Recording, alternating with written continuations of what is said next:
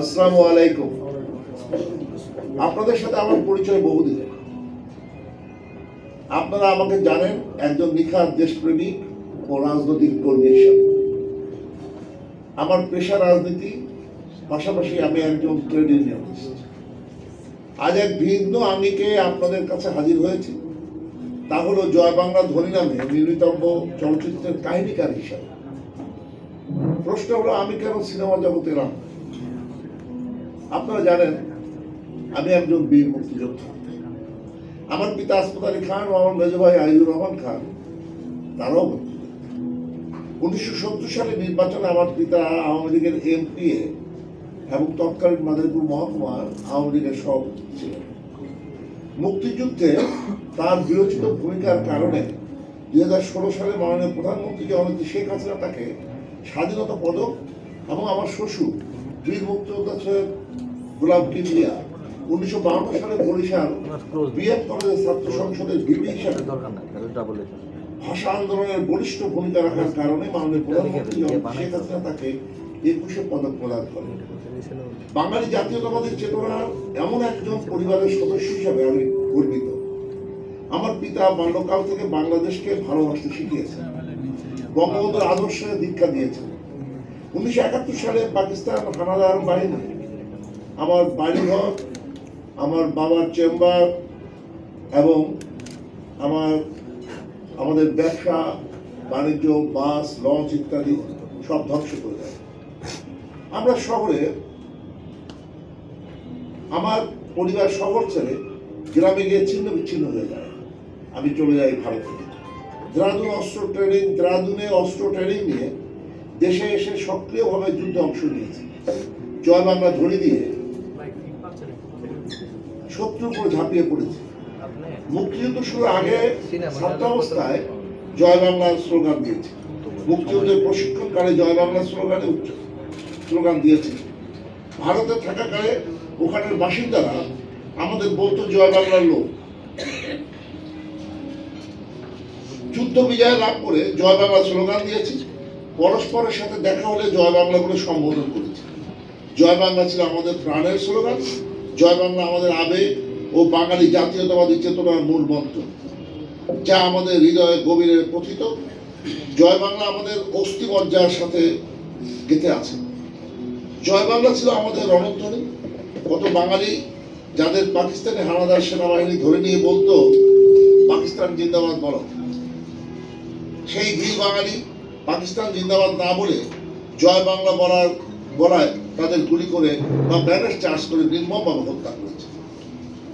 উনিশশো পঁচাত্তর সালের পনেরো আগস্ট কাল রাতে বিশ্বাসঘাতক খন্দকার মোস্তাক ও অপর বিশ্বাসঘাতক বাংলার কুলাঙ্গার জেনারেল জিয়াউর রহমান বঙ্গবন্ধুকে সপরিবারে হত্যা করে অবৈধভাবে ক্ষমতা দখল করে তারা বাঙালির রণধ্বনি ও জাতীয় স্লোগান, প্রাণের স্লোগান, জয় বাংলাকে বিসর্জন দিয়ে পাকিস্তানি ভাবধারায় পাকিস্তান জিন্দাবাদের মতো বাংলাদেশ জিন্দাবাদ স্লোগান আমাদের শিখিয়েছে।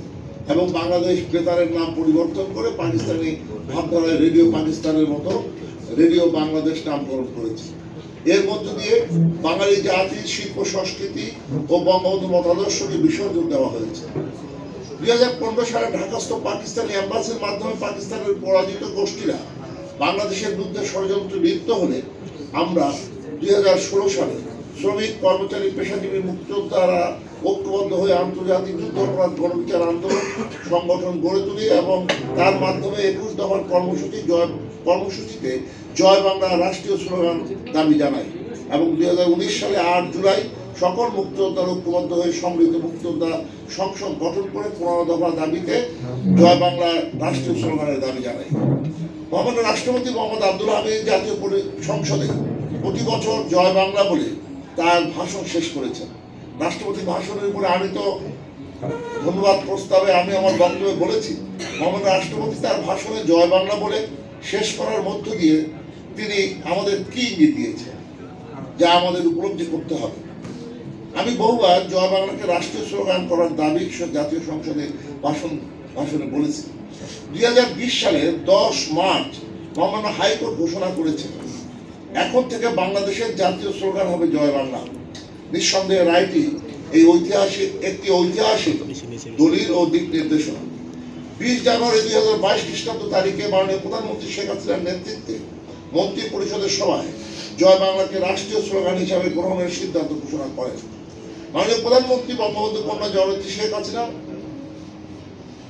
এই ঘোষণা বাঙালি জাতিকে উল্লসিত করেছে।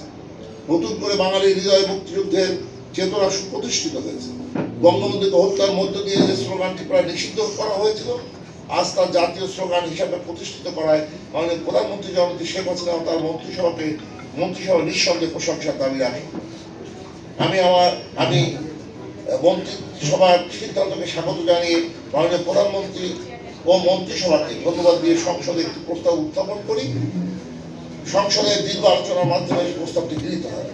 প্রিয় সাংবাদিক বন্ধুরা, প্রশ্ন হলো, জয় স্লোগানের উৎপত্তি কোথা থেকে? ইতিহাস পর্যালোচনা করে জানা যায়, জাতির পিতা বঙ্গবন্ধু শেখ মুজিবুর রহমান জাতীয় কবি কাজী নজরুল ইসলামের ভাঙ্গার গান কাব্যের পূর্ণ অভিনন্দন কবিতা থেকে জয় বাংলা স্লোগানটি সংগ্রহ করেছিলেন।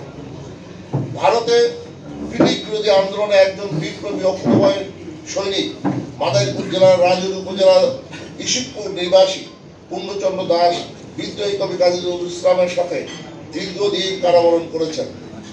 কারা মুক্তি পর পূর্ণচন্দ্র দাসকে মাদারীপুরে সম্বর্ধনা জ্ঞাপন করে। ওই অনুষ্ঠানে বিদ্রোহী কবি কাজী নজরুল ইসলাম বহরমপুর জেল থেকে কবিতা লিখে পাঠান।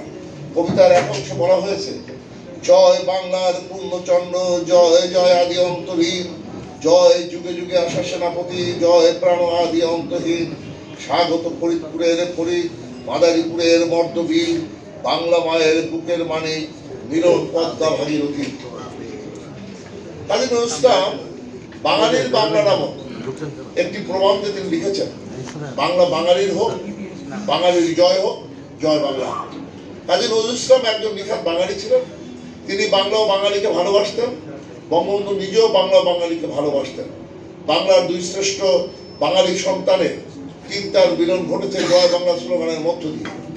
পাকিস্তান সৃষ্টির পর থেকে বঙ্গবন্ধু বাংলাদেশের স্বাধীনতা স্বপ্ন দেখেছেন তার দৃষ্টান্ত হলো তিনি পুরো পাকিস্তানকে সর্বদা পূর্ব বাংলা বলতেন তিনি সাহসিকতার পরিচয় দিয়েছেন উনিশশো পঁয়ষট্টি সালে, পাঁচ ডিসেম্বর।